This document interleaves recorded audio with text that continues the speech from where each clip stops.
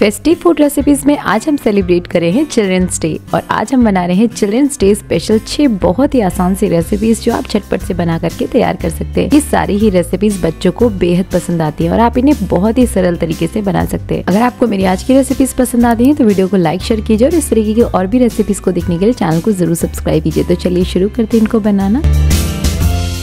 आज की हमारी पहली रेसिपी है चॉकलेट ट्रफल बॉल्स देखते हैं इसको कैसे बनाते हैं। इसको बनाने के लिए मैंने यहाँ पर एक हैवी तले की कढ़ाई या फिर पैन ले ले। इसमें हम ऐड करेंगे दो चम्मच जितना बटर बटर को हल्का सा मेल्ट हो जाने देंगे। उसके बाद हम इसमें ऐड करेंगे 270 ग्राम जितना कंडेंस्ड मिल्क मैंने यहाँ पर कंडेंस्ड मिल्क मार्केट का इस्तेमाल करा है। आप इसे घर में भी बना सकते हैं। इसकी रेसिपी मैं पहले आपके साथ शेयर कर चुकी हूँ। डिस्क्रिप्शन बॉक्स में आपको वो रेसिपी मिल जाएगी। इसको डाल करके बिल्कुल लो फ्लेम पर अच्छी तरह से इसमें बबल्स आने तक हम पका लेंगे। बिल्कुल लो फ्लेम पर लगातार चलाते हुए इसे पकाना है। कुछ ही देर बाद आप देखेंगे इसमें इस तरीके से बबल्स आने लगे हैं। बस इस टाइम पे हम इसमें ऐड करेंगे दो बड़े चम्मच इतना कोको पाउडर और इसको भी हम फटाफट से इसके साथ में मिक्स कर लेंगे। इसमें देखिए कोई लम्स नहीं होने चाहिए, इसलिए आपको ये बहुत काम क्विकली करना है। गैस का फ्लेम लो रखते हुए ही सारी चीज़ों को कुक करेंगे। कोको पाउडर डालने के बाद जब ये अच्छी तरह से मिक्स हो जाएगा, इसमें छोटे बहुत लम्स दिख रहे हैं, उसके लिए बिल्कुल परेशान मत हो। अब उसके बाद हम इसमें ऐड करेंगे आधे कप जितनी डार्क कंपाउंड चॉकलेट आप किसी भी ब्रांड की कंपाउंड चॉकलेट इसमें इस्तेमाल करते सकते हैं। बस इसे इस तरीके से छोटे छोटे पीसेज में कट करके ऐड करना है। चॉकलेट डालने के बाद इसे भी हम बिल्कुल लो फ्लेम पर चलाते रहेंगे इस कंडेंस मिल्क और कोको पाउडर के साथ में, ताकि सारी चीज़ें एकदम अच्छी तरह से कंबाइन हो जाएँ। कुछ ही देर में आप देखेंगे जो चॉकलेट के चंक्स हैं, वो एकदम अच्छी तरह से मेल्ट हो चुके हैं और अब ये बिल्कुल स्मूथ सा मिक्सचर हमारा रेडी हो चुका है। बस जब आपका मिक्सचर बिल्कुल इस टाइप का हो जाएगा, यानी चॉकलेट बिल्कुल अच्छी तरह से मेल्ट हो जाएगी, हम गैस के फ्लेम को बंद कर देंगे और बंद करने के बाद हम इसे एक दूसरी प्लेट पर ट्रांसफ़र कर लेंगे। अभी ये मिक्सचर काफ़ी ज़्यादा गर्म है तो हम इसे 15 मिनट के लिए रेफ्रिजरेटर सेक्शन में रखेंगे, यानी कि फ्रिज सेक्शन में रखेंगे 15 मिनट्स के लिए, ताकि थोड़ा सा फर्म हो जाए। उसके बाद हम इससे ट्रफल्स बनाने शुरू करेंगे। देखिए 15 मिनट्स में ये इस तरीके से हो जाता है। और अब हम किसी स्पून की मदद से इस तरीके से स्कूप करते हुए एक इक्वल साइज़ की बॉल्स लेते हुए इसकी छोटी छोटी सी बॉल्स बना लेंगे। तो ये हमारी सारी ट्रिफल बॉल्स बन के बिल्कुल तैयार है। आप चाहे ऐसे ही इंजॉय करें, या फिर चाहे तो ऊपर से ड्राई फ्रूट्स के साथ में इनको कोट कर सकते हैं, या फिर चाहे तो सूखे नारियल के बुरादे में इनको कोट कर लें या फिर चॉकलेट चिप से सजा लें। ये बहुत ज़्यादा टेस्टी बनती है और आप इसे लंबे समय तक स्टोर भी कर सकते हैं। तो देखा आपने कितना सरल है इसको बनाना। चलिए पढ़ते हैं हमारी आज की नेक्स्ट रेसिपी की तरफ़।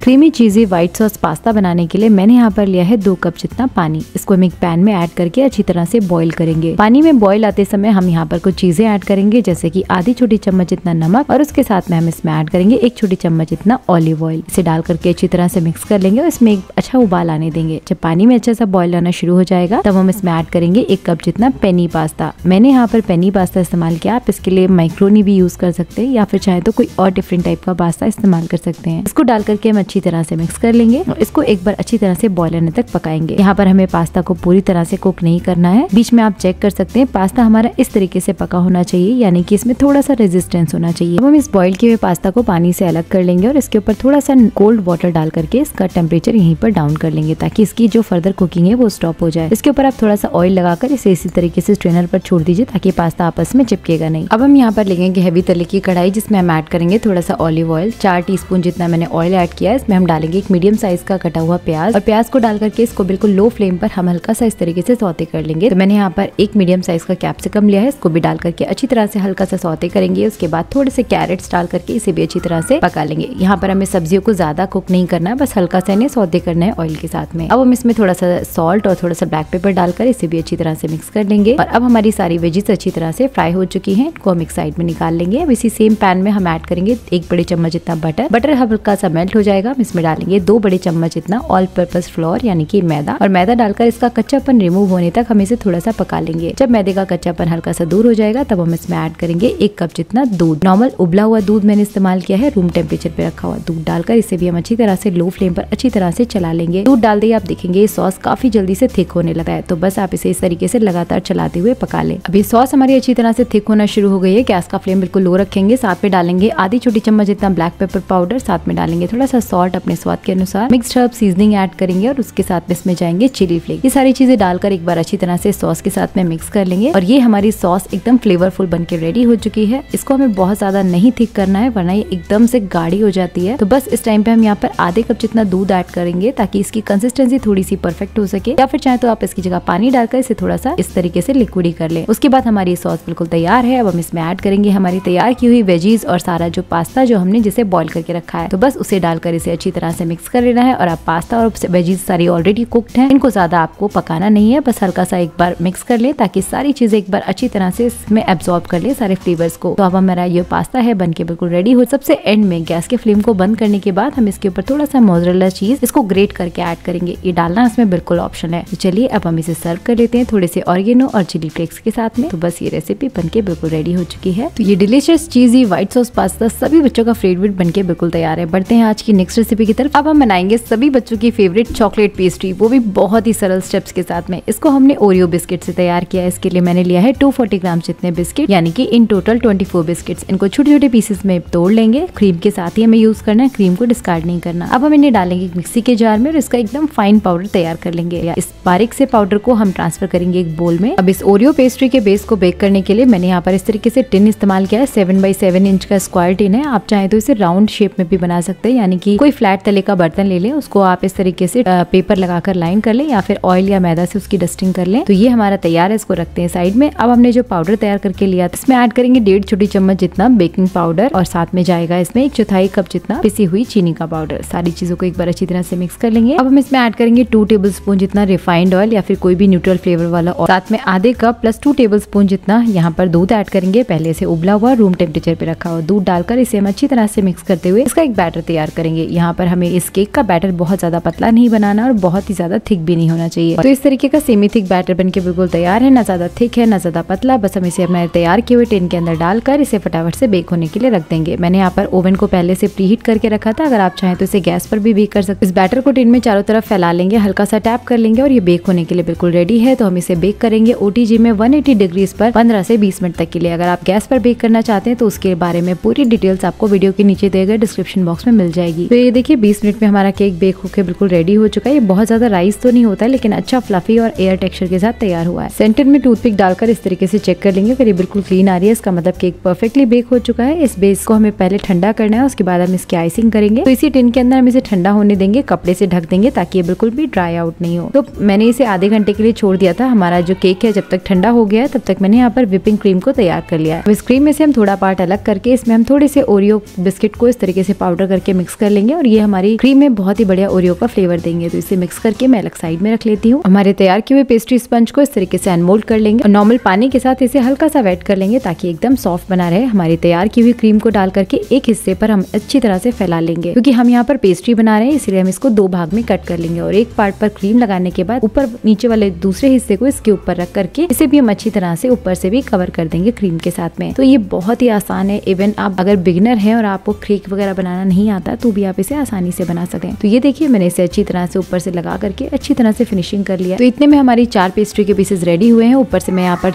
मेल्ट की हुई चॉकलेट के साथ इसको इस तरीके से डेकोरेट कर रही हूँ। आप चाहे तो ओरियो बिस्किट के साथ में ऊपर से डेकोरेशन कर सकते हैं। तो ये हमारी बहुत ही ज़्यादा टेस्टी सभी बच्चों की फेवरेट ओरियो पेस्ट्री बन के बिल्कुल तैयार है। तो चिल्ड्रंस डे के स्पेशल मौके पर ज़रूर ट्राई कीजिए रेसिपी चलिए बढ़ते हैं रेसिपी की तरफ़, जहाँ पे हम तैयार करेंगे बहुत ही ज़्यादा टेस्टी एक और बच्चों की फेवरेट रेसिपी मैंने यहाँ पर लिया है 200 ग्राम जितना पनीर, जिसको हम इस तरीके से छोटे छोटे क्यूब्स में कट कर लेंगे। पनीर को कट करने के बाद इसको हम एक साइड रख लेंगे। अब यहाँ पर मैंने लिया है एक चौथाई कप जितना कॉर्नफ्लोर इसको एक खाली बोल में ऐड करेंगे, साथ में हम ऐड करेंगे तीन बड़ी चम्मच जितना मैदा। साथ में इसमें ऐड करेंगे आधे छोटे चम्मच जितना चिली फ्लेक्स साथ में हम डालेंगे रेड चिली पाउडर सॉल्ट अपने स्वाद के अनुसार ऑरिगेनो ऐड करेंगे। साथ में डालेंगे ब्लैक पेपर सारी चीज़ों को मिक्स करके इसमें डालेंगे जिंजर गार्लिक पेस्ट और साथ में थोड़ा सा फ्रेश धनिया। साथ में अच्छी तरह से इन सारी चीज़ों को मिक्स करेंगे। उसके बाद हम यहाँ पर हमारे कटे हुए पनीर के क्यूब्स को इसमें ऐड करके अच्छी तरह से पाउडर वाले मिक्सचर के साथ में कोट कर लेंगे, ताकि पनीर के अंदर सारे फ्लेवर्स अच्छी तरह से इंकॉर्पोरेट हो जाए। पनीर के क्यूब्स को हमने अच्छी तरह से कोट कर लिया। अब हम इसे ड्राई वाले मिक्सचर में से इस तरीके से निकाल लेंगे। हमें पाउडर को छुटाना नहीं है इसके ऊपर से। बस हल्का सा इस तरीके से करके एक्स्ट्रा जो होगा वो निकाल देंगे। उसके बाद हम इन्हें अलग रख लेंगे और हमारा जो यहाँ पर जो पाउडर बच गया है, उसमें हम थोड़ा सा पानी डालकर इसका एक बिल्कुल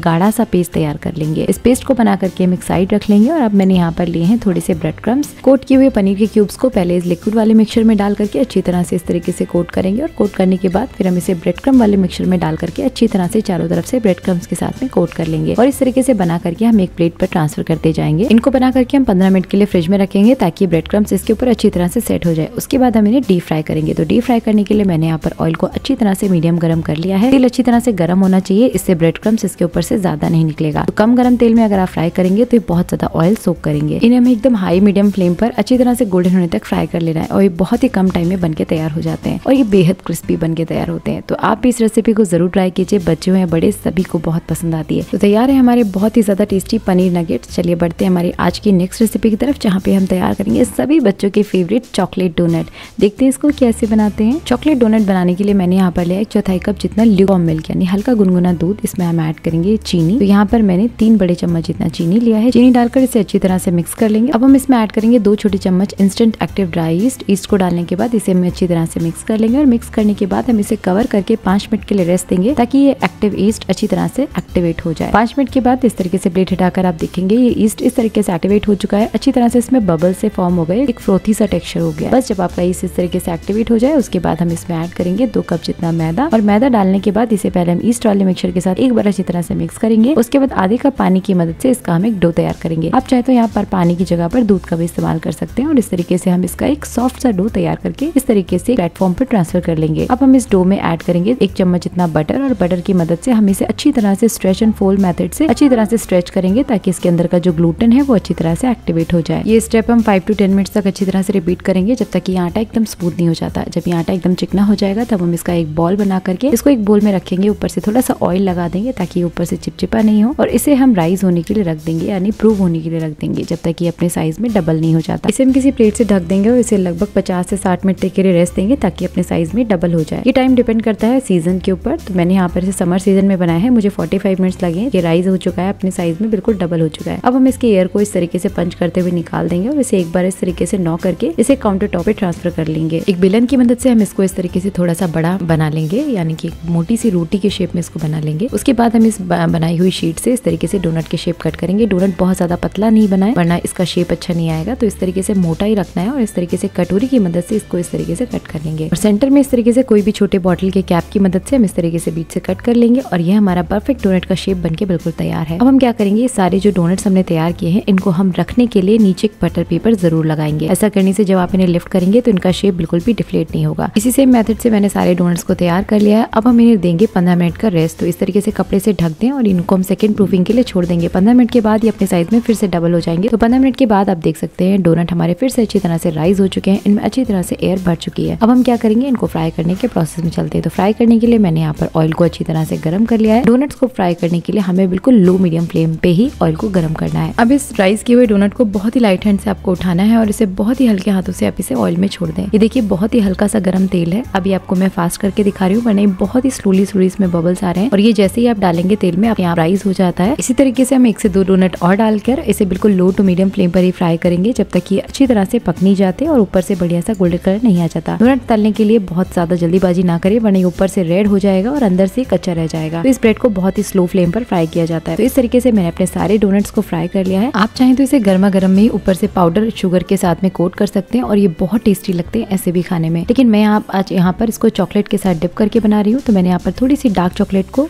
मेल्ट कर लिया है। तो चॉकलेट में तैयार की हुई डोनट को इस तरीके से डिप कर लेंगे हाफ़ और इसी तरीके से मैंने यहाँ पर व्हाइट चॉकलेट में भी इनको डिप कर लिया है। जैसे चाहे आप ऊपर से डेकोरेट कर सकते हैं, चाहे शुगर स्प्रिंकल्स लगाएँ या फिर चाहे तो इन्हीं व्हाइट और डार्क चॉकलेट को इस तरीके से पाइपिंग बैग में भर कर इस तरीके से पैटर्न बनाए। सभी बच्चों के फेवरेट चॉकलेटी डोनट बनके बिल्कुल तैयार हो चुके हैं। आप भी इस रेसिपी को ज़रूर ट्राई कीजिए। वीडियो कैसा लगा मुझे कमेंट में ज़रूर बताइएगा।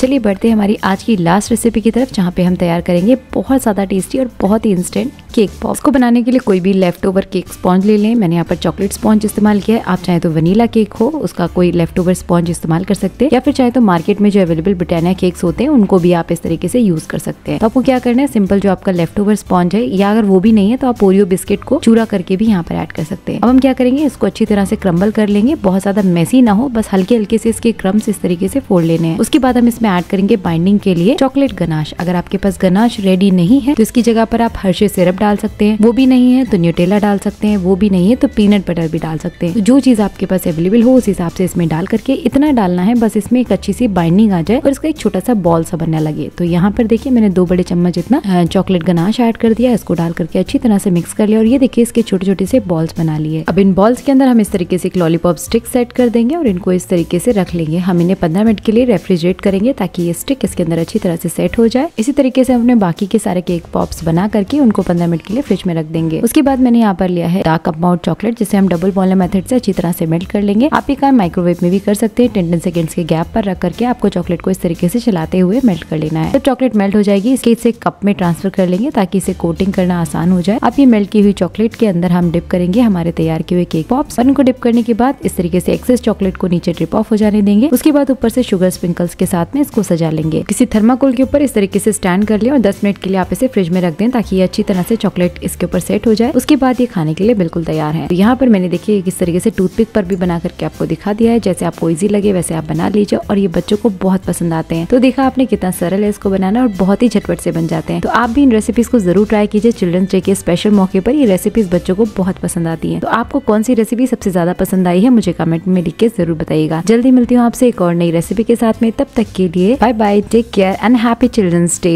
Hare Krishna.